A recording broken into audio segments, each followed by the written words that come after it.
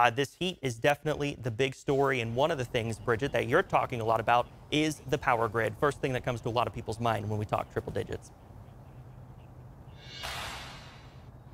Exactly, Brendan. And thankfully, we had a relatively mild June in terms of temperatures, and energy regulators say that really helped uh, prevent strain on the power grid. So, right now it's looking stable, but they say that could all change if people really crank up that AC as we head into triple digit heat this holiday weekend. So, the advice is keep that thermostat 78 degrees or higher if possible. And it's been quite some time since we've seen triple digit heat. It was September the last time we saw these kinds of temperatures. So, it's going to take a lot of time for people to get used to, myself included, and we got to find creative ways to stay cool. That heat advisory kicking in tomorrow morning at 11, and this time of year, there is always the concern of straining the power grid, which is why energy regulators are urging everyone to do their part to prevent rolling blackouts.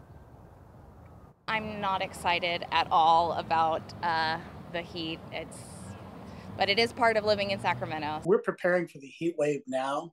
This includes the use of outage prediction models that help us identify in advance potential location, time, and duration for those outages. So set your thermostat to 78 if possible. Move as much of your power usage outside of peak periods during the daytime when temperatures are the hottest. And, you know, most importantly, be prepared should you have a power outage.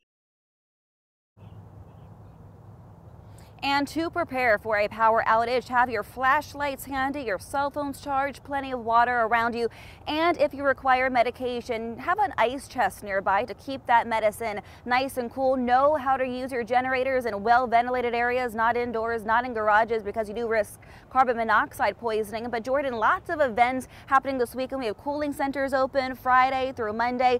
Fairy Tale Town is open and free of charge for anyone, uh, for kids, parents included, if it's it's 95 degrees or hotter. So a lot of people, I can imagine, going out to that. And today might be the last day people are working. So how are the roads looking out there? So the roads are good. And Bridget, with this heat, you know, another thing that's really important to think about is also how very minimal heat is needed to make a really dangerous situation.